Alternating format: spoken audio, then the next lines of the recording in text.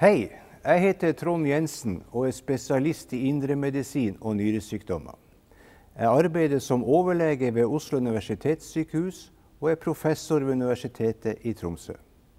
Jeg skal i dag orientere om behandling av nyresykdom ved diabetes, med utgangspunkt i Helsedirektoratets nasjonale faglige retningslinje for diabetes, som ble publisert i september 2016. Nyresykdom ved diabetes er ikke alltid et uttrykk for diabetesnefropati. En person med diabetes type 1 som utvikler albuminuri før 40-årsalder, har som regel diabetes nefropati som årsak. Men hos eldre personer med diabetes type 2 er hypertensjonsnefropati, nefroskerose, like hyppig som diabetes nefropati, og blandingsformer opptrer ofte. Retningslinjene anbefaler tiltak av felles nytte, uavhengig av hva som er utgangspunktet for nyreskaden.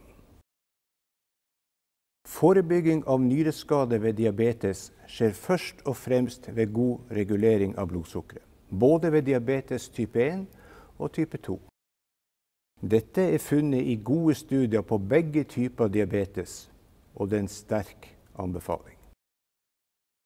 Økt albuminutskillelse i urin, målt som albumin-kreatinin ratio, ble tidligere kalt for mikroalbuminuri.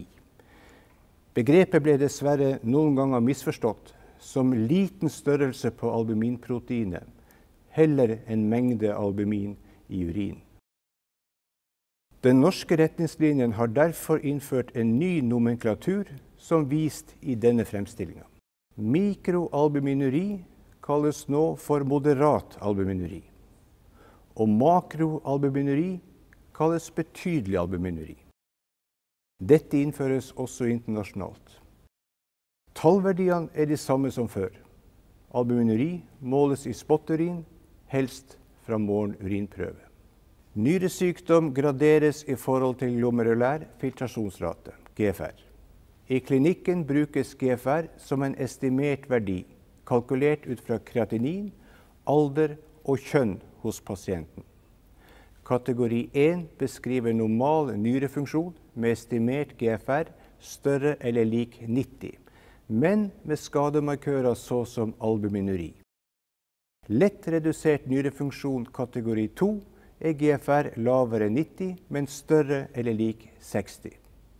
Husk at mange eldre kan ha GFR ned mot 70 uten at det beskriver nyresykdom men GFR lavere enn 60 regnes i alle tilfeller som patologisk. Kategori 3A og 3B beskriver området mellom 60 og 30 og kalles moderat til betydelig redusert nyrefunksjon. Betydelig redusert nyrefunksjon inntrer i alle tilfeller ved GFR lavere enn 30 og terminal nyresvikt ved GFR lavere enn 15. Så mange som 20% av alle med diabetes type 2 har GFR lavere enn 60, delvis pga. høy alder, hypertensjonsskade og ikke bare pga. diabetes nefropati. Ved diabetes type 1 kan albuminuri opptre uten hypertensjon, mens hypertensjon oftest er til stede hos pasienten med diabetes type 2 og albuminuri. ACE-hemmere, alternativt angiotensin 2-reseptorblokkere, senker albuminurien og bevarer nyrefunksjon på sikt. Ved diabetes type 1 og albuminuri bør slik behandling gis uansett om pasienten har hypertensjon eller ikke. Ved diabetes type 2 anbefales slik behandling når pasienten har hypertensjon i tillegg til albuminuri. Hypertensjon defineres som blodtrykk høyere enn 140 over 90.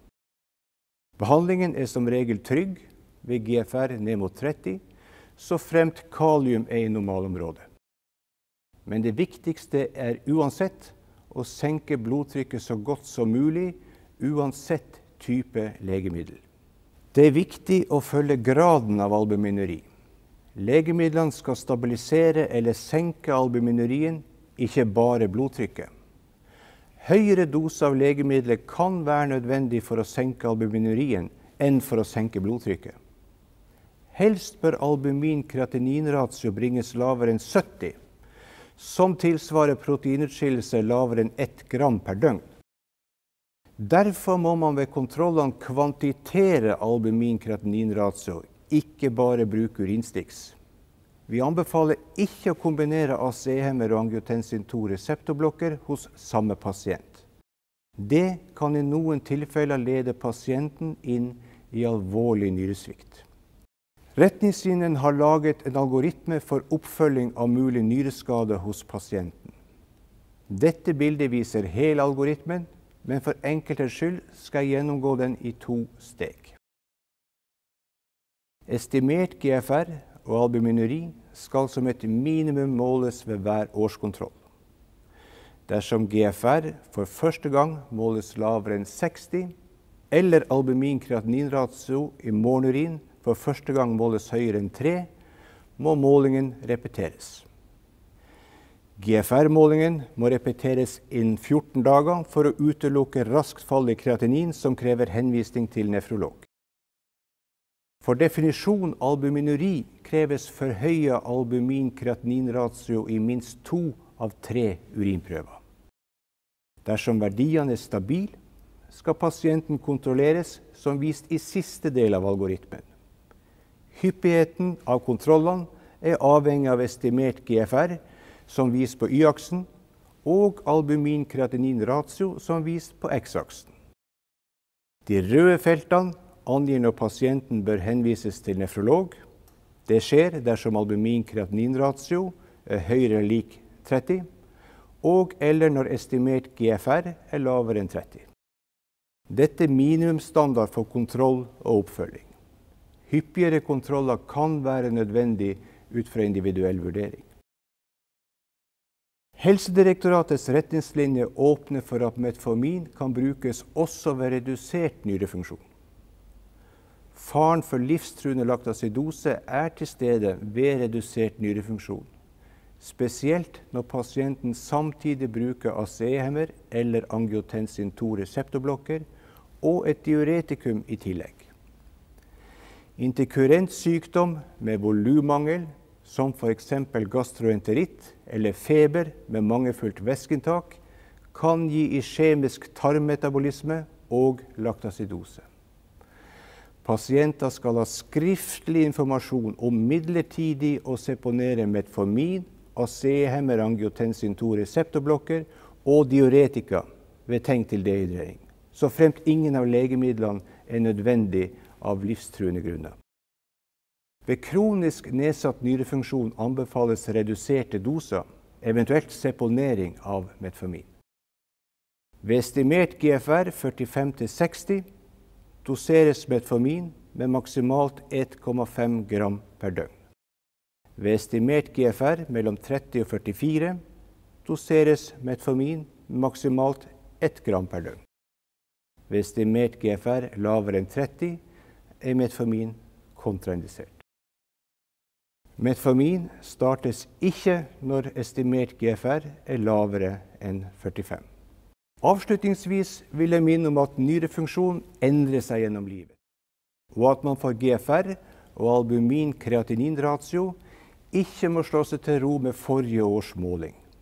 Kontroller aktuelle verdier og juster behandlinga i forhold til endring i nyrefunksjon.